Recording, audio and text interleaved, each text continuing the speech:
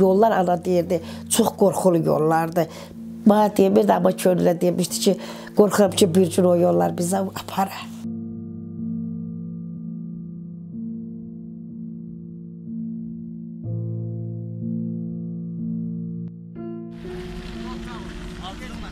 Qubaqdı, qubaqdı, ay qubaqdı. Bəli kəndidir.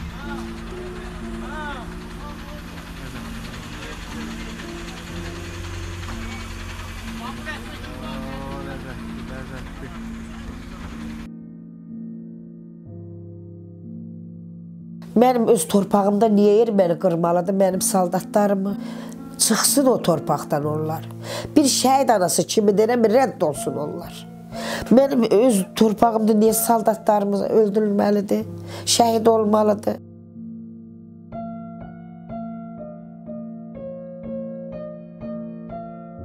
Orxan Rəhimov 2-ci Qarabağ müharibəsindən sonra şəhid olmuş hərbiçidir. Əslən Qubadlı rayonundandır.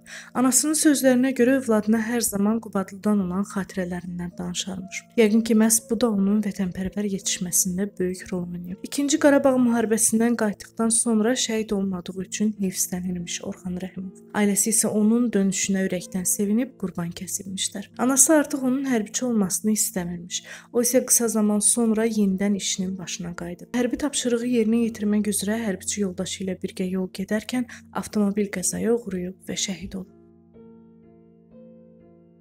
Biz Qubadlı olsaq da çox Qubadlının xatirələrindən danışırdım.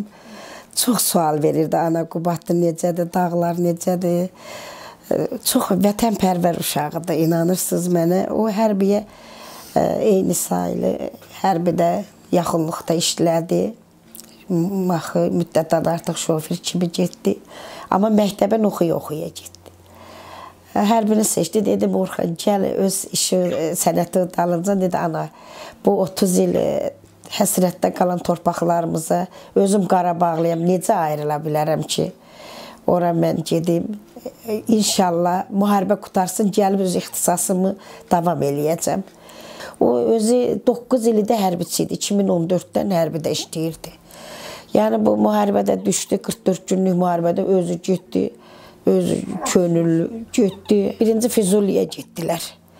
Füzuli elə bir ki, zəhləşəndə Mama Füzulidə hər şey yaxşıdır, amma ona dəqiq demirdi. Dedi, elə amma hər şey yaxşıdır. Orxan sentyabr 20-si getmişdi, gəldi mart ayı. Orxan müharibədən qayıtdı, sağ-salamat gəldi. Qurban kəsdik. Sevindik.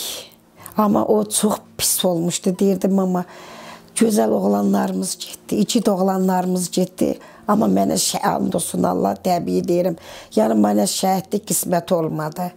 Dedim, oğlum, niyə elə zəhərən öz qisməti var, balalarım var, yazıqsan, ailəndə 2014-də həm hərbiyə getdi 2014 ilində də avqustun 28-i toy olub. 28-i günü də şəhid olub balam. Elə bir toyla şəhid olan gün üst-üstə düşür hər ay. 25-i e, biz danışmışdıq. Sonra 28-i, 25-i danışdıq. 26, 27-si günü də danışmışam. 27-si günü saat 11-ə kimi danışdıq. Yəni ana sənə qurbanım dedim, hələ demə atam mən sənə qurban. Ana bir-birinizə müğayət olun, balalarıma müğayət ol. Elə dedim, ay Orxan, niyə hələ danışdın ata? Elə bir biz hərbidəyik, sən Biz elə mehribanıq sən ana bir-birinizə könüllə müğayət ol, uşaqlara müğayət ol. Amma arxayın olun, amma vallahi elə bir 6-cı, 7-ci ayın 7-si də uşağın ad günü idi, Hüseyn oğlunun ad günü idi. Dedi, görüm icazə alıb gələ biləcəm ana. Demək 27-si axşamı danışdıq, səhər saat 4-də hay düşdü ki, Orxan qəzaya düşüblər. Netdə eşitmişdilər, ancaq biz baxmamışdıq. Sonra qızım gəldi. Dedim, ay Fəridə, bir bax gör qaqandan, axı biz gözləyirik saat 10-u da. O həmişə deyib ondan sonra zəng elə mənə. Həmişə saat 10-da elə. O Fəridə baxdı, dedi, ana dedi. Qardaşım qəzaya düşüb. Coşquna bir yerdə iş yoldaşıdır o da. Zeynalov Coşqunla bir yerdə ikisi belə tapşırığı yerinə yetirəndə qəziyə düşmüşdülər. Mən inanmadım. Hərbiçilər gətirdi Orxanı. Ha 28-i. 29-u dəfn olub. Orxanı e, yəni getdi yolladı xala. Getdi Orxangil gəlib çıxmadı. Çox axtarıblar. İnansan qəza düşdü, yedi heç bir nişana da qalmayıb. Çox gediblər. Saat hadisə 11-də qəzaya düşən uşağı axşam tapıblar. Gediblər qaydanda necə olubsa dağ o yollar ana deyirdi. Çox qorxulu yollardı. Mənə demirdi, amma könülə demişdi ki, qorxuram ki, bir gün o yollar bizə aparar. Boynu qırılmışmış Orxanın, coşquna dəmir başına girir. Baxmadı. Yox, yox. Cəsarət toplayıb baxmadı qızım. Mən onu gətirə bilmədim. O müharibədən də sonra ki, getdi Qubadlı Yallaçıda. Necə bəyəndi oraları? Ay Orxan, gəl öz ixtisası, get balalarım var, Hüseynim var, gül kimi balam var. Yunan necə sevdi də ana, şəhid olan qardaşlarımız artıq deyil. Yəni mən ekranın qarşısında bunu deyim. Mən Qarabağlıyam. Əgər mən ora getməsəm, məsələn, başqa zonalar, düzdür, Azərbaycan da dövlətimiz Bakıdır. Amma o, yəni, deyirdi, o ürəklə ki, oğlanlar gedib, amma deməyib mənim vətənimdir, sənin vətənindir. O da çox sevdi vətən. Biraz ağlayanda, bekaflayanda girir yoxuma. Elə gözəl görürəm ki. O elə bir ki, hazırlaşdı şəhid olmağa ana. Usta lazım olsa dostumun atasına deyir. Hələ də ondan istifadə eləyirik. Başqa usta çağırmır. Mənim öz torpağımda niyə erməni qırmalıdır mənim saldatlarımı? Çıxsın o torpaqdan onlar. Bir şəhid anası kimi deyirəm, rədd olsun onlar. Mənim öz torpağımda niyə saldatlarımız öldürülməlidir? Şəhid olmalıdır. Bir şəhid anası kimi deyirəm. Yazıqdır o analar. İstəmirəm mən çəkdiyim o analar da çəksin. İstəmirəm balam, nəvəm kimi yetim qalan balalar yetim qalsın. Ata həsrətir. Ata qapısı, ay atam qapıda ölür, atam gələr. Gəl bəlkə atam da gəlir. İstəmirəm övladlarımız gələcək, körpələrimiz onu düşünsün.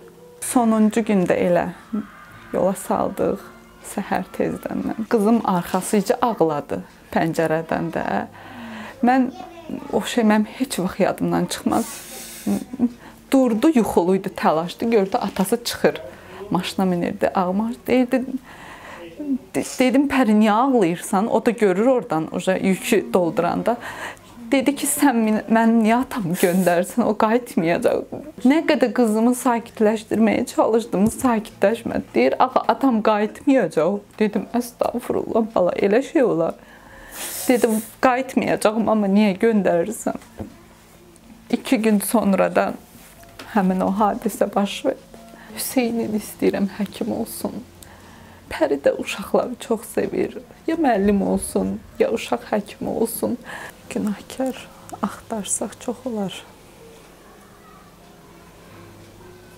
Yəqin biz özümüzük.